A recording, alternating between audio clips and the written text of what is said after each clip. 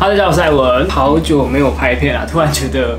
面对镜头有点生疏啊，不过这边有一件事情要跟你们讲一下，因为之前呢我都是固定会周更，有空的话我都会固定周更，但是现在因为工作关系，所以可能之后没有办法那么长周更了，可能会变成不定时上片，因为工作再加上拍影片这样子，真的会太累，有点真的有点累，然后有点忙，所以说上片的时间可能会改不定时，或者是两周一支影片。好了，那今天影片要拍什么呢？呃，今天因为我最近也不知道拍什么，对，突然没有灵感，所以我。就想说，那我来拍一下，而且我记好像也有一段时间没有分享我近期所买的战利品，所以今天就要来跟你们分享我近期买了一些啊，总共七样啊，七样战利品跟你们分享一下。那我们就开始吧。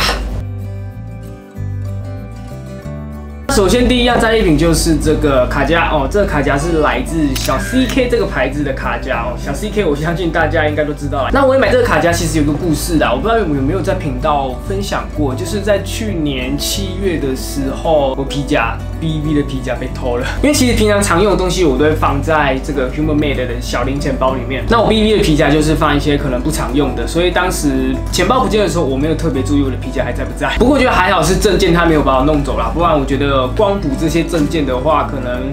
比损失一个皮夹还要更麻烦，所以这种皮夹被偷之后，我证件其实都是乱放，就是放在一个固定的格子，就会比较杂乱啦。然后一直以来我都想买一个卡夹，一直找不到，不是太贵，不然就是不实用或者是自己不喜欢。然后直到前阵子我就想说，哎，不然我去小 CK 看好，因为毕竟小 CK 也是属于女性的时尚品牌。结果就逛逛逛就看到这个，哎，我觉得论它的价格，论它的外形，论它的夹层，我觉得都是我自己可以接受的。那这个卡夹就给了你一二三。四五六七哦，七个夹层。这个卡夹的材质就是使用 Napa 的 PU 合成皮哦，它不是真皮，它是合成皮。但是我觉得摸起来还是算有质感的啦。然后表面也不是素面的，表面是有压纹的设计。然后在正前方这边就是给一个经典的菱格纹设计，搭配一个金色的小 CK logo。基本上这个卡夹我觉得它可以算是比较偏中性了，它也不是完全偏女性。其实男生拿这个也是非常 OK 的。重点是这个价格真的是非常非常。便宜，这个卡夹它价格只要五百九，虽然它不是真皮啊，但是我觉得整体的设计，我觉得还是算有质感的。所以如果你近期也在找卡夹的话，这个其实我蛮推荐你们的。这个产品型号是 CK 六 dash 五零六八零九二六，所以第一样战利品就是这个啦，小 CK 的卡夹。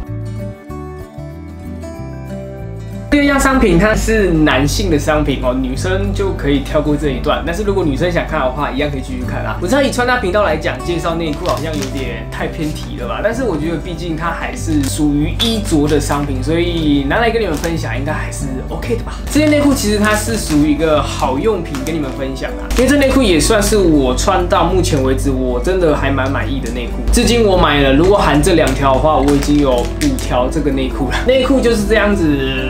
你们可能刚刚说哇红色哎，为什么会买红色？因为骚嘛。那这内裤的材质我真的觉得还蛮舒服，而且它是带有一点弹性的。它的材质是使用九十五 percent 的棉加上五 percent 的弹力纤维，所以它其实穿上身是蛮舒服的啦。你看这么。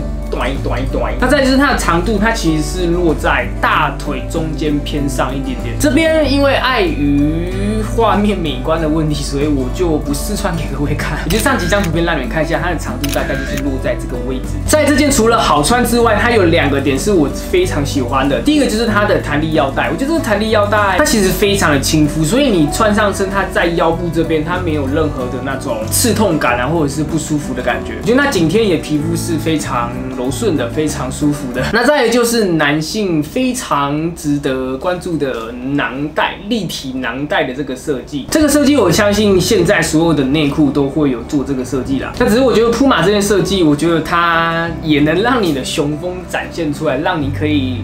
挺出你的英姿，但因为一样画面美观的问题，所以我就不试穿给你们看。然后内裤里面有这个水洗标哦，那如果你们有兴趣的话，那也有买的话，我会建议这个水洗标剪掉，因为我自己会剪掉。因为如果你不剪的话，其实你这样穿上去。屁股这边就会有这个水洗标的那种异物堆积感，我是不太喜欢。它的裤长其实是比较短一点点的，然后它其实没有到非常非常的紧，所以当你早上起来，男生嘛，对不对？男生早上起来有时候就是会兴奋一下，所以当你兴兴奋的时候，如果你是自己一个人是没差，但是如果你是跟朋友出门然后去饭店睡觉的话，当你早上兴奋的时候，有时候那个小兄弟啊就会从裤子这两侧的洞稍微露出来透个气。我自己就有这样子的经验呐，所以如果怕尴尬人，这点可能要稍微注意一下。总而言之，我觉得这内裤是真的蛮好穿的，就是算我自己蛮推荐你们可以买的啦。那这内裤我是在爱买买的，我不知道专柜有没有在卖。那它一件是只要就一九九，我觉得一九九算是蛮可以接受的价格啦。重点是它真的蛮好穿的，不骗你们哦，我现在就是穿这件。嘿嘿，我现在就是穿这件内裤哦。那这件的型号是五九一五二零零零二，所以第二件就是爱用品跟你们分享铺马的内裤。好了，那再来就是正常的战利品分享。首先就是这两件，那这两件都是来自二九 Studio 这个牌子的一件长裤，再来一件背心。二九 Studio 品牌前身其实是以韩国选货服饰商品为主的服饰店，因为团队开始喜爱服饰的多元性以及变化性，所以在二零一六年就创立了二九 Studio 这个服装品牌。设计上基本上是以剪裁的多样性以及商品的质感去把关。那二九 Studio 的版型也是时下非常流行的宽版。设计重点是真的非常非常的宽，可以看到这件裤子就真的很宽了。所以如果喜欢宽松的朋友，二九 Studio 我觉得蛮推荐你们可以买的。那这件长裤它就是一个非常宽版的设定，它算是一个减型裤的裤型，然后是做这种机能布料的，它的材质算是蛮厚实的。如果夏天穿可能会有点太热，所以这件我会比较偏向秋冬的时候穿着。那它的机能布料表面其实是有带有这种格纹的设计，然后就是两侧给你大口袋，左侧口袋这边就有。刺绣二九 Studio 的字样，而且它是使用橘色缝线去呈现，我觉得非常有质感。它整件其实在缝线上是有用橘色的缝线去做点缀。我觉得这些点缀都可以让整件看起来非常的有设计感，非常有质感。这也是我也买这条裤子的最大原因。然后后面的话，它并不是给你两个口袋哈，它就只有在右侧屁股这边做一个口袋，左边是没有的。那这件版型会这么大，其实是因为二九 Studio 它就只有做单一尺寸 one size，所以它也算是打破我对于宽松的印象。我当时看到这会觉得哇，这也太宽了吧！但是重点是价格真的很便宜，这件裤子它只要一千五百块，一千五百块，我觉得能有这样子的设计。然后这样子的材质，看来之后我又可以多一个品牌可以考虑了。那再来就是这件背心啦，背心就是夏天蛮好搭橙色的单品。这件背心整件就是做这种尼龙拼接网布的设计，上半部就是全部用尼龙的材质，下半部就是网布，这样子的材质搭配也可以让你在夏天穿着的时候比较不会这么闷热。然后胸前两侧也有附一个口袋，只是口袋我是不太建议放东西啊。网布这个材质是偏软，所以你放东西的话可能会垂。啊，我自己是觉得这样不好看的。然后胸前左侧这边也有一个拉链哦，那它其实深度也算是够的。然后这件背心我最喜欢的就是它在这个位置网布拼接尼龙的这块。它其实整件这样子看下来啊，它其实有点类似马甲的背心，就是短短的这样子，然后去拼接网布，而且这样子的拼接也可以变成一种层次感。那背心的话，其实你单穿一件素 T 就可以很好看了。毕竟夏天嘛，也不能穿太多层次的东西，所以背心搭配素 T，我觉得是一个非常实用的搭配方法。好，那所以第三个战利品就是来自二九 Studio 的长裤以及背心。Boy, so chasing falling stars. Love's not supposed to be paper thin. So if I stay here, don't rip me apart. I'm already scared to begin with.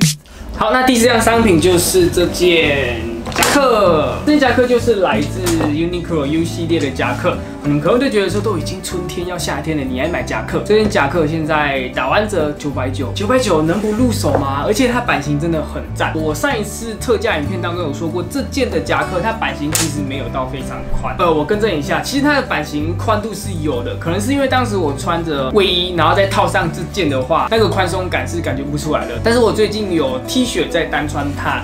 那个宽松感就蛮有感的，整件设计就是做宽短的造型，也蛮符合我现在的需求。那整件也是偏向那种牛仔外套的造型，胸前给你两个口袋，那这边也是做这种古巴点的设计，但是它也可以全扣。那我这几天试穿之后，我真的非常喜欢那袖子这边的设计，它袖子这边其实是做这种宽然后窄下来的。所以它在侧面的时候看这个轮廓感是非常的好看。整件材质就是纯棉，然后它其实也是有一定的分量，并不会让你觉得它非常的单薄。其实像这几天的天气穿，我觉得还是算 OK 的。如果你们有买这件的朋友，我蛮推荐你们下摆这边的纽扣，你们可以给它拆掉。以往你们可能都是被给它扣上去啊，但是我觉得拆掉的话，让这条可以垂在这边，我觉得这样子能有一个特别的造型感。像这张照片，我觉得这样子穿，我就觉得就蛮好看的，很特别，我也蛮喜欢的。最后就是这件的口袋，其实比我想象中的还多。这件口袋总共有一个、两个，它侧边其实还有，所以三个。四个里面它其实也是有做暗袋的哦，所以是五个、六个哦，总共有六个口袋这么多。那这件不管在网络啊，或者是实体店，它都只剩棕色这个颜色了。但其实老实说，我觉得这次的 U 系列啊，棕色的配色反而是更吸引我。我觉得单纯的那种浅卡其啊，或者是黑色，都觉得还好。好啦，所以第四样商品就是这件来自 Uniqlo U 系列的宽短夹克，推荐给你们。如果是跟我身材一样的朋友，真的蛮推荐可以买的。So used to chasing falling stars. Love's not supposed to be paper thin. So if I stay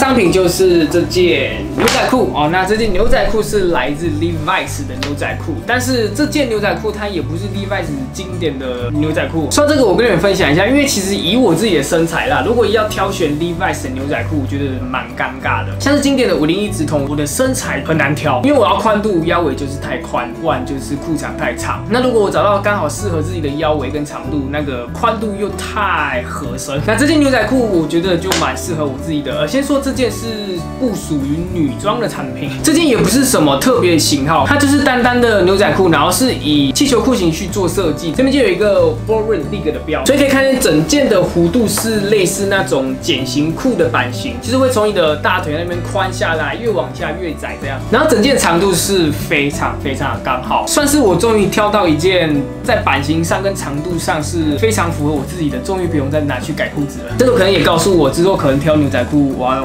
女装去挑了。这件除了版型以外，我觉得最让我会想买就是它整件的刷色。但老实说，它刷色其实也没有到非常精致、非常特别。它就是一件非常浅色系的牛仔裤。但是一直以来，我就对于那种原色啊，或者是比较深色系的牛仔色，我都觉得很不感兴趣。我就是对这种比较浅色的牛仔色比较感兴趣。那整件就是这样子啦，它也没什么特别好讲的，就是 Levi's 的牛仔裤，经典的皮革标，Levi's 的小咬标。那这件我是。在 Second Street 买的，我是买九百块。如果想买牛仔裤的朋友，可以去 Second Street 买。在 Second Street 买牛仔裤是非常值得的一件事，我觉得啊，因为价格真的都蛮便宜的。基本上以我自己逛看到现在啦，除非你撇除 LBC 或是 LMC 这两个系列以外，基本上一般的经典五零一直通版型都落在六七八九百块这样子。所以如果你想要找一条牛仔裤，真的可以去 Second Street 哇。好，总之这件就是这样子，就是第五样战利品。So used to chasing falling stars. Love's not supposed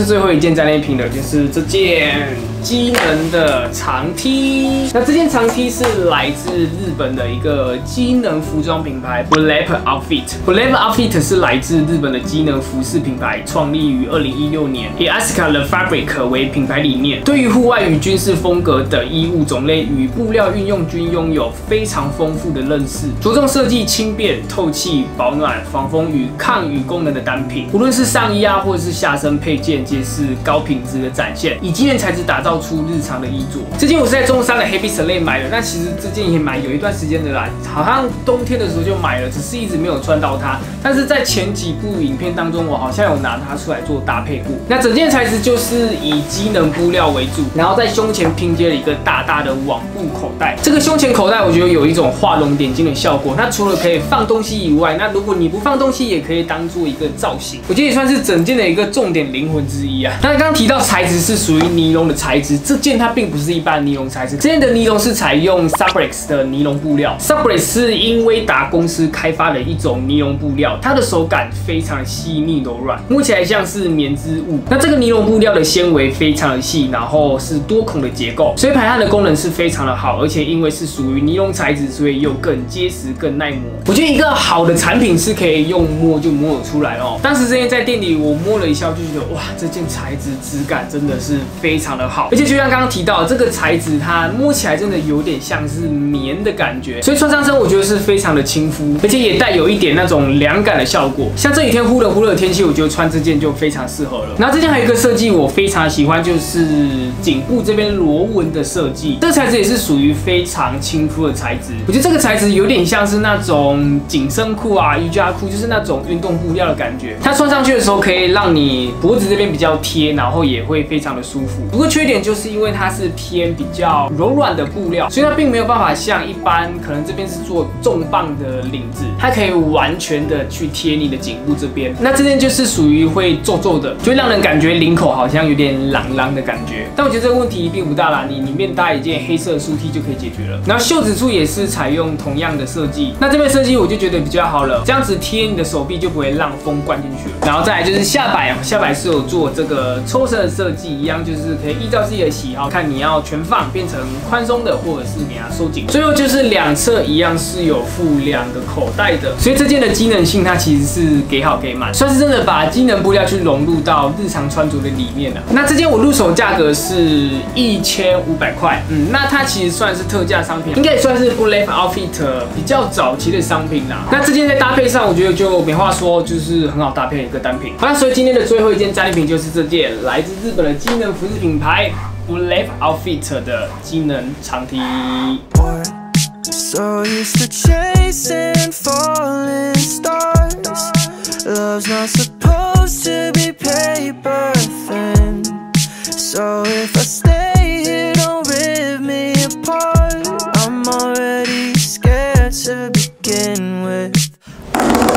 好了，那这影片差不多就到这边。最近因为工作关系，所以真的比较少时间可以拍片啦。那今天这部影片的片长也会稍微长一点，算是补足上礼拜没有拍片，然后利用这部影片小小的回馈给你们吧。不过有时间我还是会尽量拍片啦。那以上所分享的战利品，有任何问题都可以在影片底下留言跟我讲，我都会回复。如果喜欢的影片，记得帮我按个赞，然后也别忘记按下订阅键，也记得开启小铃铛。我是艾文，我们下部影片见吧，拜拜。Yeah.